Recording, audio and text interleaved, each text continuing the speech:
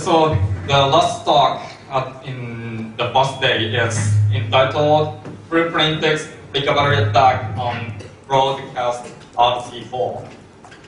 The authors are Takanori Isobe, Toshihiro Ohigashi, Yuhei Watanabe, and Masakatsu Mori.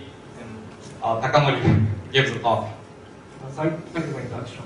I'm Takano Isobe from Kobe University. Uh, today I would like to talk about plain text recovery attack on broadcast RC4. At first, I'll explain the target setting and the attack. Target setting is a broadcast setting. Uh, in this setting, uh, same plain text is encrypted with a different user key. So in this setting, uh, there is only one plain text and uh, many ciphertext included uh, different keys. Uh, example of this setting, uh, considered example is uh, group, uh, group net and multi-session scenario SSL TLS. And the attack is uh, plain text recovery attack in the broadcast setting. Uh, the purpose of the, this attack is to recover the plain text, plain text from only ciphertext encrypted by different keys. Uh, this is hash attack. So what uh, attacker do is to collect only ciphertext. And this attack not use additional information such as uh, side channel information and uh, partial knowledge of the plain text. Uh, let me explain the summary of our result.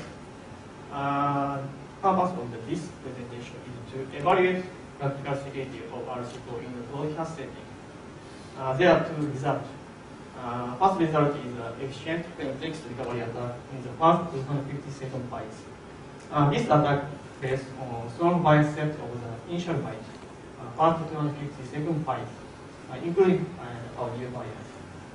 As a result, given only 2 to 32 ciphertext with different keys, uh, any byte of first 257 bytes of plain text are recovered with probability of more than uh, 0.5. Uh, second result is a sequential plain text recovery attack at uh, 58 bytes. Uh, this attack combined use of power bias set and margins from time set, which was proposed in Europe 2001. Uh, given to, to 34 ciphertext with different keys, uh, contiguous one uh, thousand byte of the plain text and recovered probability of almost one. Uh, here is agenda of my. First, I explain the RC4 strength psychology. Um, so before explanation of our attack, I introduce two known plain text recovery attacks. After that, I propose our result, efficient plain text recovery attack of the first 257 bytes. Then I propose sequential plain text recovery attack later. Finally, I conclude my presentation. RC4 is a solution designed by Lewis in 1987. Uh, it is one of most famous solution Actually, it is used uh, major security protocols such as SSL, TLS, uh, WebWA. Uh, this cipher has uh, several parameters. Uh, for example, key length is uh, from 1 to 256 bytes. Uh, typically, uh, 16 bytes, 128 bit key is used. Uh, set size also varies, but typically any uh, 256 bytes of the state is used. So in this one, we focus on the uh, typical parameter, uh, 150 and 250 bytes of the byte state. And RC4 has two uh, base, uh, key schedule base and equivalent algorithms. Uh, KSA converts key into the large state. After that, uh, this state uh, generates key stream from the state. Uh, over the past uh, 20 years, a number of recognized results are proposed. Uh, state recovery attack and distinguish attack and uh, plain text recovery attack. As a, as attack, uh, key collision and key recovery for the internal state. Uh, this talk focus on the plain text recovery attack.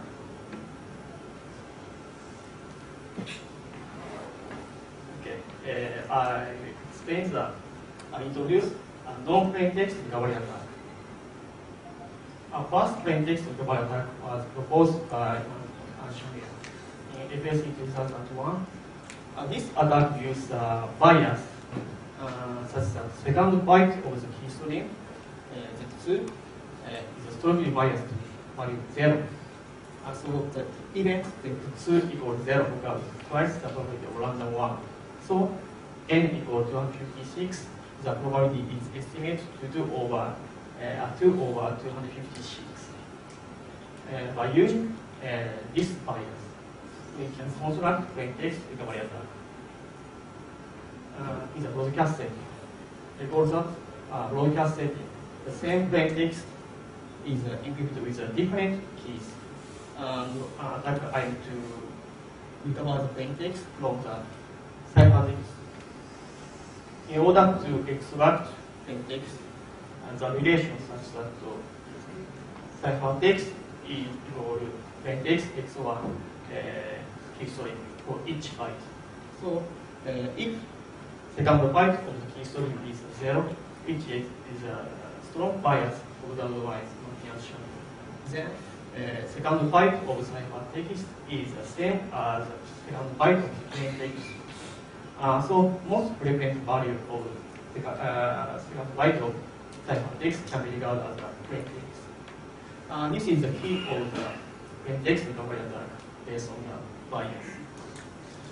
Uh, given there was an n ciphertext encoded by different keys, the second byte of the plain text can be extracted from the ciphertext with high.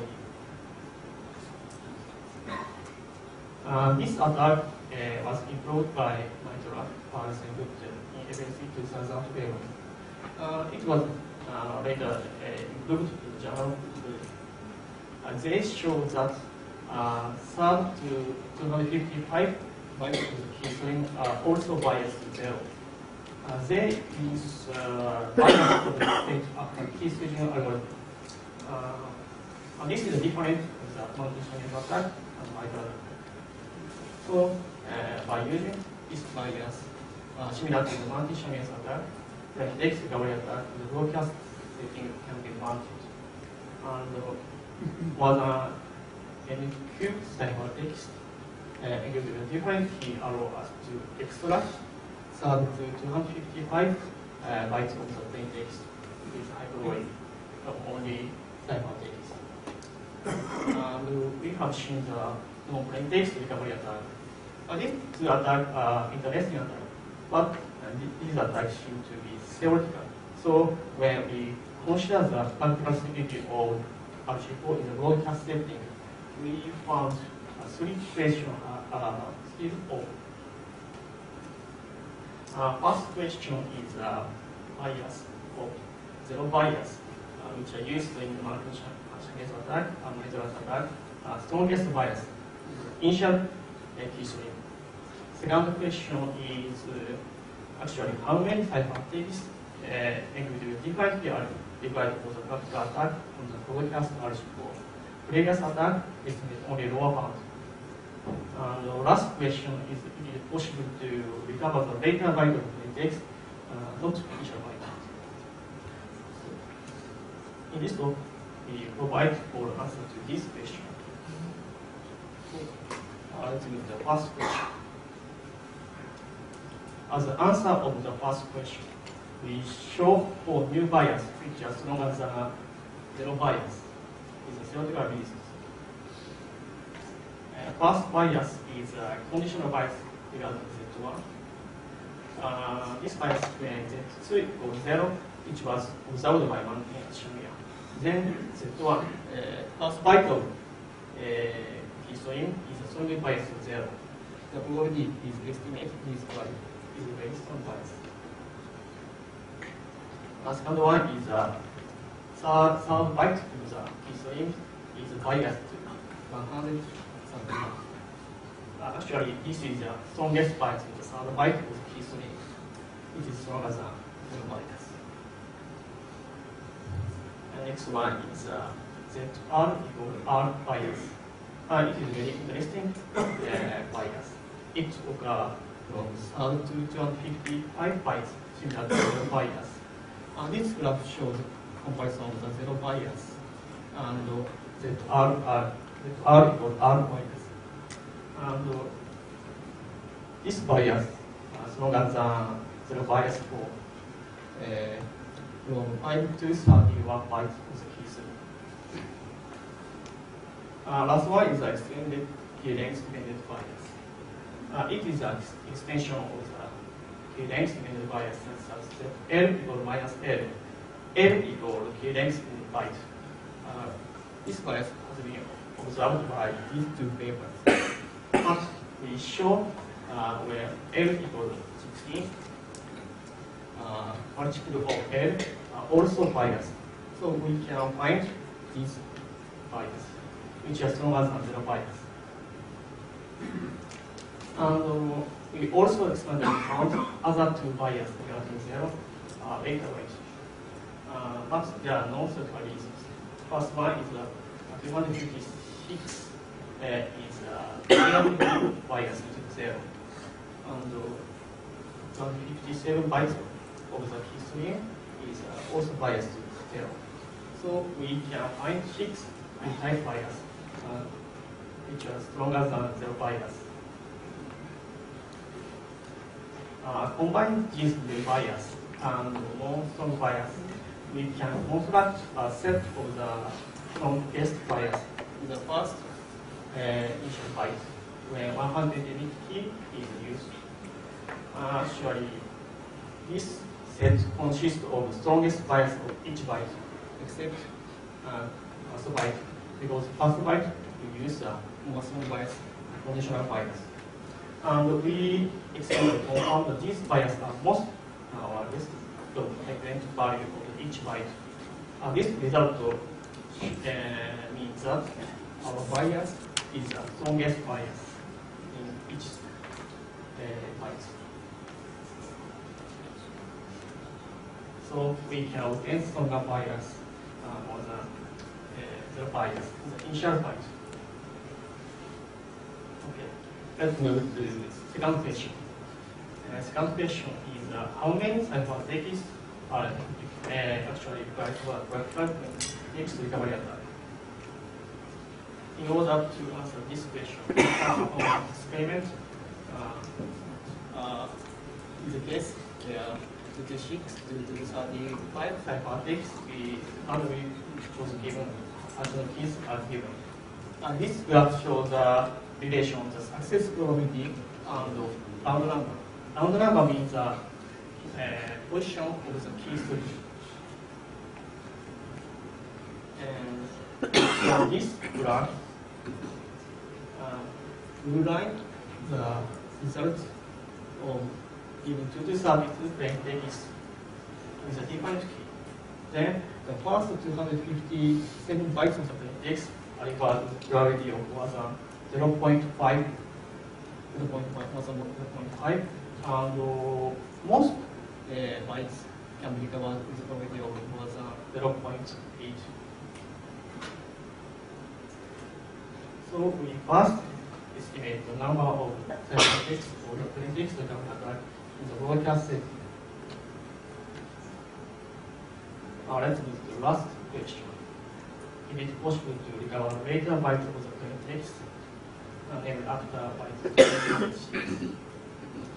um, efficient method using the strong byte set used in the initial byte are not directly applicable to later byte uh, because we couldn't find such strong bias later byte.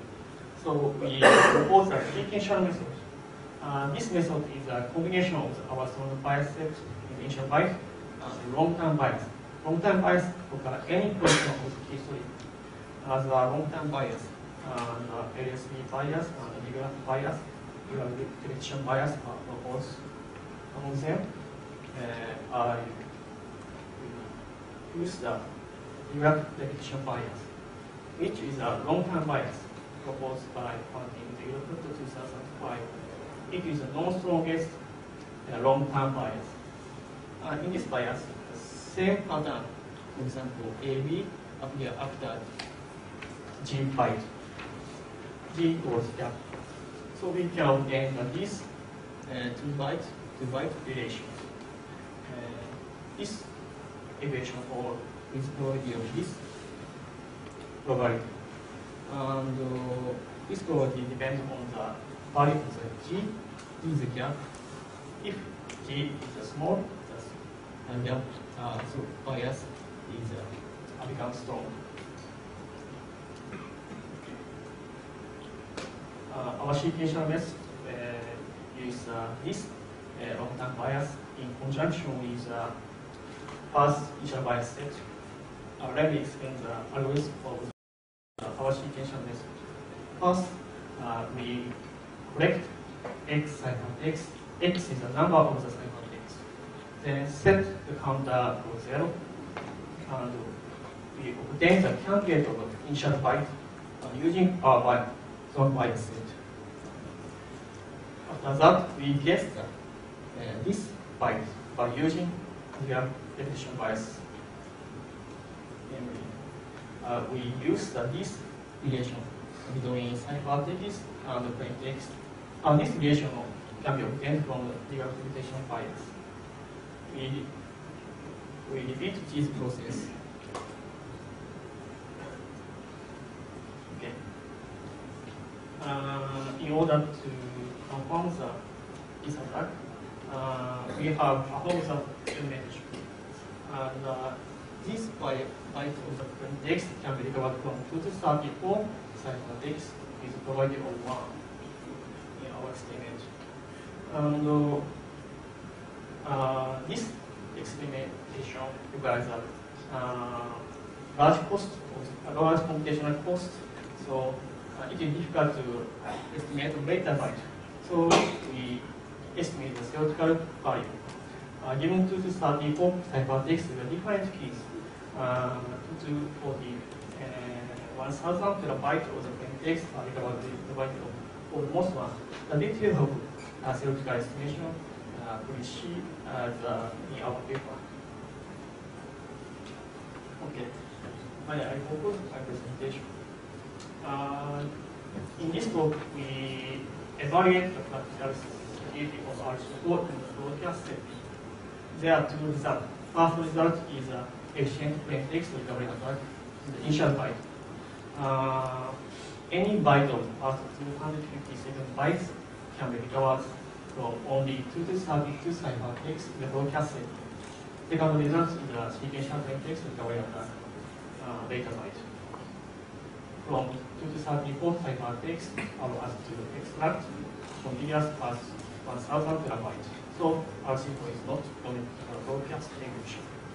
And last, in the initial uh, 50 bytes disregard, uh, disregard the block. Our attack cannot work. But I think um, same type of attack seem to be uh, for the SSL TLS that this broadcast setting is converted to the multi-session setting where target setting, uh, target plain text from uh, repeatedly in the same position in the plain text and multiple SSL DS session. Thank you very much.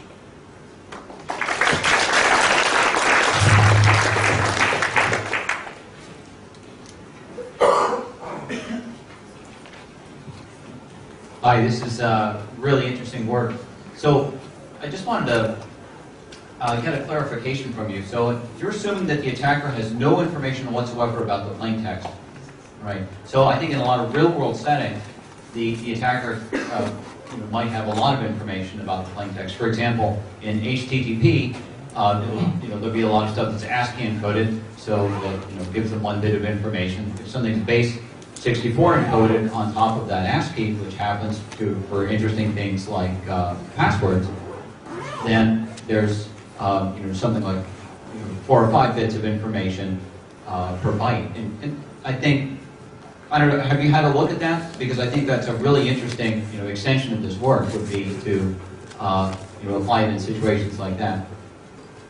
Have you had a look at that yet? Uh. Uh, I think so. Uh, if we use the partial of the plain um, maybe our time can be improved. So, um, but I, I have not estimate the practical uh, protocol. So, and this is the future.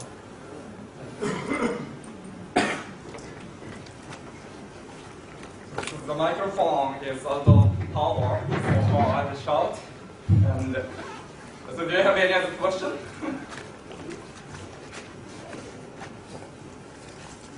so I have one. So how, how did you search for such complicated virus?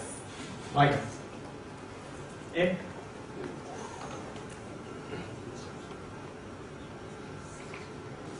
You mean the uh, How, how did you find virus?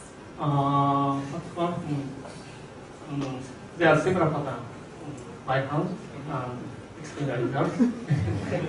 Okay. I see. So Any other question or comments? Yes. in back.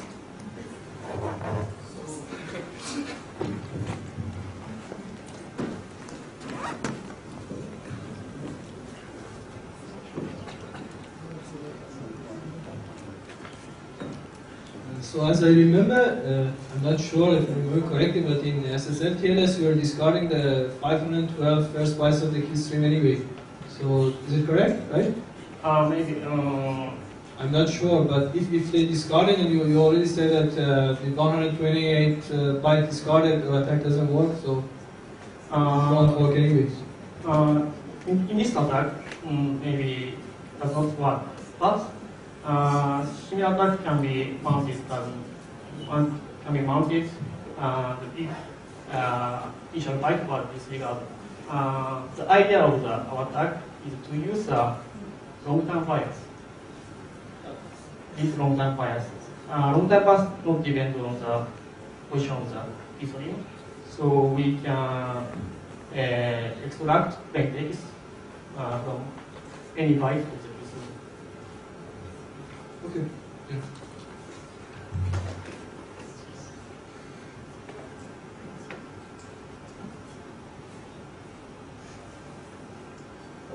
Any other comments or questions?